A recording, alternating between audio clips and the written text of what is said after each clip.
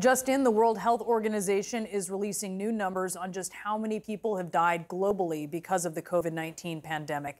CNN's Jacqueline Howard is live with the breakdown. What have they found here, Jacqueline? Brianna, what they found, these numbers tell us that about 14.9 million more people died than the World Health Organization would typically expect over the course of two years during the pandemic. Now, these deaths include both people who died directly due to COVID 19 and deaths that were indirectly tied to the pandemic. So these are deaths due to health conditions that people may have had uh, trouble getting treatment for because of our overburdened health systems. And this number, Brianna, represents three times higher than the death toll that has been previously reported. Now, here's a breakdown of the numbers. We know that most of the excess deaths, 84%, were concentrated in Southeast Asia, Europe, and the Americas. The death toll was higher among men. We see there 57% were male, 43% were female. The death toll was also higher among older adults. And then here are the countries that had the highest numbers of excess deaths. We have Brazil, Indonesia, India, the US, Russia, Peru, Turkey, Egypt, South Africa. So there's a list there, Brianna. But some people might wonder we know that many people sadly lost their lives during the pandemic. So what can we really learn from these numbers? Well, here's how one World Health Organization scientist put this in context. Have a listen. So why do these numbers actually matter? I mean, these are not numbers for the sake of numbers, but mm. as we have just said, that you know, there are two components to this, right? So one is the directly attributable deaths to COVID, but in addition to that, the excess deaths also estimate the collateral damage that has happened because of COVID, because of disruptions in health services.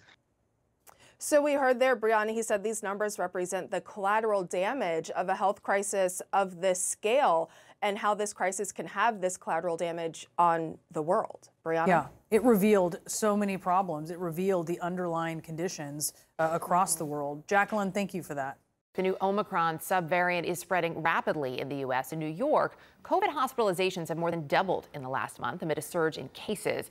The troubling increase is leading New York City to raise its COVID risk level this week. Joining me now is New York City Health Commissioner Dr. Ashwin Vasan. Good to have you with us, Dr. Vasan. So when we look at when we look at where we're at now, in addition to raising the alert level here in the city, I know you're also recommending that people start masking indoors again. Do you envision bringing back a, an indoor mask mandate in New York City?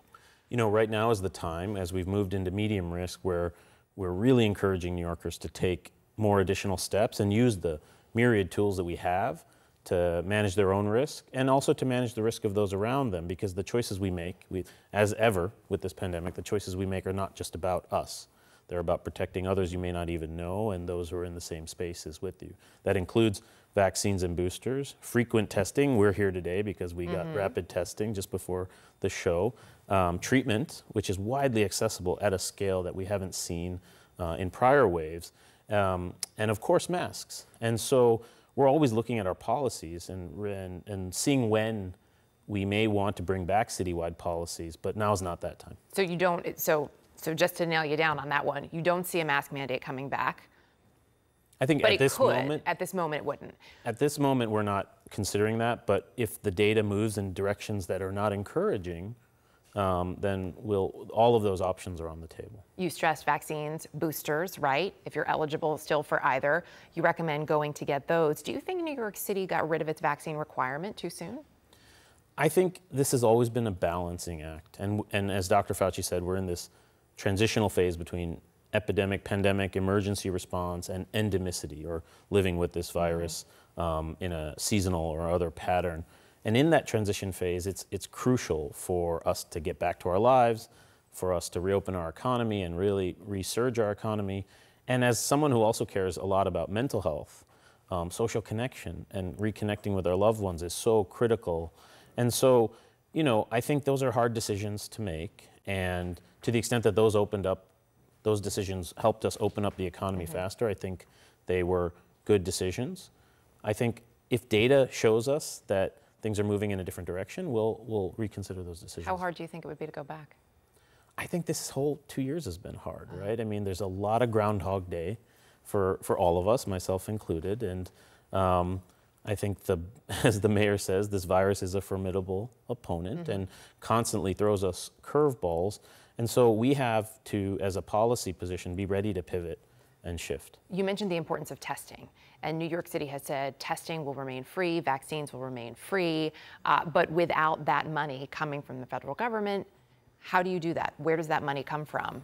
Yeah, we, we are blessed that we have been able to mount one of the strongest testing and vaccination campaigns and now treatment programs in the country. And it's, it's truly a testament to a collective effort led by public health, our public health care system, and, and all of the different health actors in the city. But the federal government has been such an essential partner in that to date.